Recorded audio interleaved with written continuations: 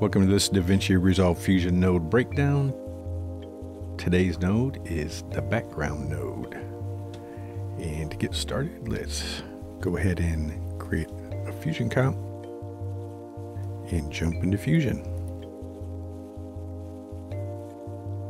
Now, uh, I know we pretty much all know what the background node is. We've used it plenty of times so far, but it is kind of an important node. So we're going to go over it real quick. So the background node basically produces a solid or a gradient color. Up here, we've got a solid color.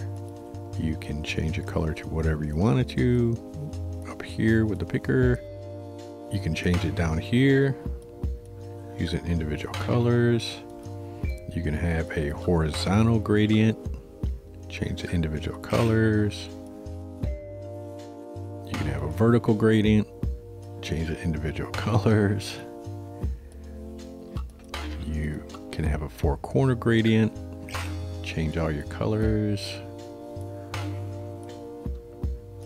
And you can have a straight gradient and adjust your gradient location as well as your colors and your repeats and all that fun stuff and it's got the basic uh, image and settings as most other nodes. And right here, we've got an input for a mask. And then you can adjust your gradient as you need to.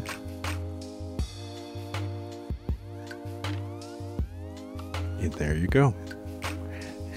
like I said, not a very exciting node to learn about, but this node will be used multiple times throughout uh, your fusion processes for gradients and other things. So, good node to know about, the background node. See you in the next node breakdown.